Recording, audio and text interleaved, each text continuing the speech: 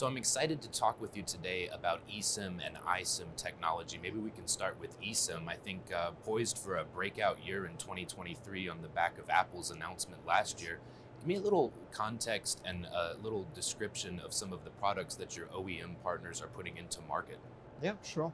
Uh, yeah, so uh, with eSIM and iSIM, I think we see an evolution to towards products that were not cellular before that can be cellular now, right? I think because of the stronger integration uh, inside the device because of really the definition of a SIM fit for purpose inside a product, we are able to reach integration level that is uh, uh, unseen so far. And so concrete example of that would be in the smart logistics, for example, uh, we've been having a product that's coming to market uh, for several years now, the smart label type of product, which is the ability to track an actual package or asset uh, really directly uh, individually rather than in a truck or on a boat or something like that or in a container. It's one.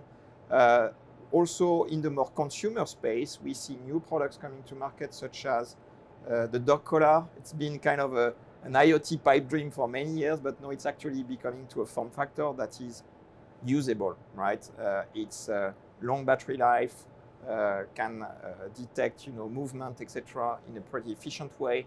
And uh, we are getting some some really interesting traction around this type of products then another innovation that we've seen this year especially uh, i would say is the uh, convergence between cellular and satellite as well. Uh, and satellite ntn functionality requires also a sim card authentication for example. So We've uh, partnered with Skylo notably uh, and uh, some of uh, integrator of this technology such as Bullitt with the Motorola Satellite Link product, which is a kind of add-on companion device uh, that you plug into your smartphone to get satellite connectivity, two-way messaging. Uh, so when you're out of coverage with your family on a camping trip or you're an outdoor guy, you can have this type of connectivity when you need it, especially for maybe emergency situation. So this is great to see this kind of innovation fueling uh, uh, the, the market. And all that started, I would say, if I look back five years ago, uh, with the statement from the MNOs to say, how do I get more devices onto my network? And especially new type of devices, you know, not your like connected car or maybe existing cellular product, but new ones. And so we're starting to really see this wave of new type of product like this. And then on iSIM, I could use a bit of a, history lesson, and I know Kigen, the pioneer in the space, so maybe you can take me through sort of the development cycle and give me an idea of what to expect in the coming years. Sure. So this year we celebrate five years of iSIM. Uh, we actually announced when uh, Kigen was part of ARM five years ago, 2018 MWC, the launch of iSIM as a concept uh, back in the day. And through the following year, we spent a lot of time and effort to convince the MNO that we meet the security requirement that they know and have with the classical SIM or eSIM, right? They can trust that it's a solid, secure platform that can be tested, it can be standard, and then a year after, we launched uh, innovation demonstration products such as the Smart Label, uh, notably with Vodafone, uh, Altair, Sony, Sony Conductor, and, uh, and other companies, Bayer notably. Um, and since then, I would say, after these two years of seeding, educating, now it's about uh, having the total ecosystem with cellular module player, chipset makers, who can enable this concept of ready to connect hardware. So now you are integrated of uh, cellular technology. You can pick a cellular module with some connectivity baked in through eSIM or iSIM and launch a product like a dog collar, like a smart label.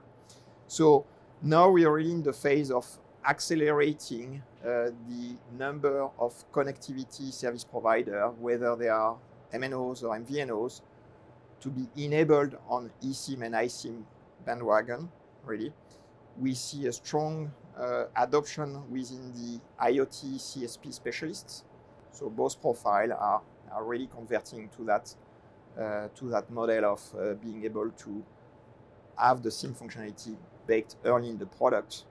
We are not necessarily always selling SIMs to MNOs and MVNOs. We are also selling the SIM function directly into the device and the hardware maker and then connecting them to the MNOs. So that's a really change in supply chain. So we've learned about eSIM, iSIM, development history, and the outlook, but give me an idea of what CSPs need to be thinking about today in terms of really monetizing this emerging economy of things. Sure. Yeah, it's a great question because you, you can see that there is a lot of changes into the CSP ecosystem. If they focus only on connectivity, it's a bit hard to differentiate. And I think we start to see with our partner on CSPs a desire to invest the applicative territory notably on security as an example. So for, uh, we have a product called IoT Safe, uh, an Open IoT Safe, which is a standard, right? But it allows to provide applicative security on the basis of a SIM, eSIM or iSIM as an example. So that allows you to basically offer additional service as a CSP uh, to uh, your uh, customers as an example. Okay, uh, so you, you, you do have uh, this need for, for stronger security across the board. Uh, we, we, we can talk also about fixed wireless access in general, which is, I think, a way to leapfrog the need for wireline connectivity in many countries. Uh, so that's, that's also an interesting one. Uh, and in general, I think really CSPs with all the changes and the mergers, etc., that are happening, have really to take a step at thinking how do I provide more services to my customer, whether it's by a portfolio of devices or a portfolio of services relating to security or optimizing connectivity or offering variety of profiles, right? Because the localization requirement is, is quite important there uh, in some markets, uh, such as uh, Brazil or Turkey or, or markets like that. So really take a, a, strong look at differentiation uh, for those extra features outside of the pure connectivity, I think is really important. And Kigen is definitely here to help them uh, on that journey. So the best is yet to come, but CSPs need to be making decisions today. Yes, absolutely. Yeah. Very good. Thank you.